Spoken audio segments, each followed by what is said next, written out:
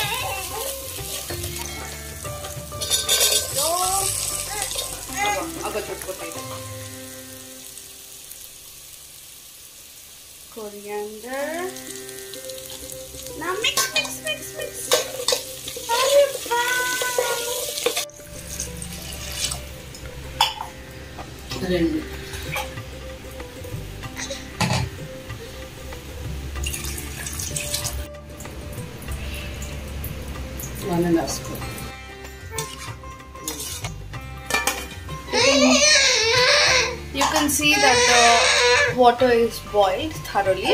Now it's time to add rice.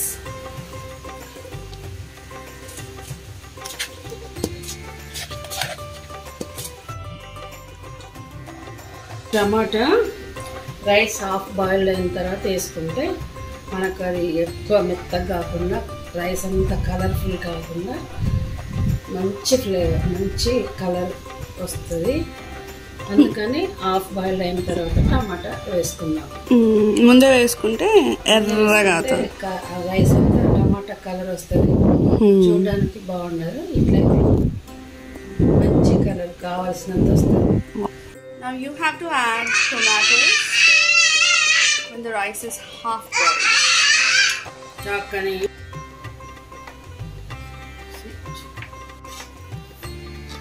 అయినట్టు ఇది వస్తే Wow, yummy yummy pulao is ready.